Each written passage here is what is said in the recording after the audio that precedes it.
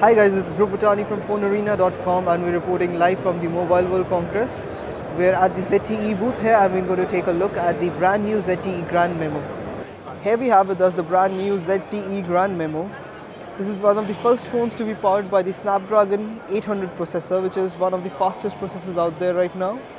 It is also perhaps one of the biggest phones to be launched here at MWC with a 5.7 inch Full HD display. It's got capacitive buttons at the bottom and it is running Android 4.1.2 that is Android Jelly Bean.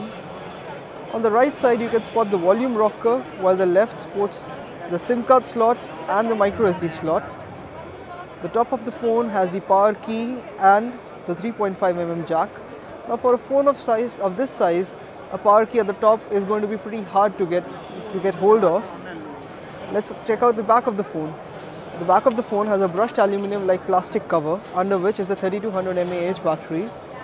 At the top we have a 13 megapixel camera which is capable of capturing video in full HD resolution.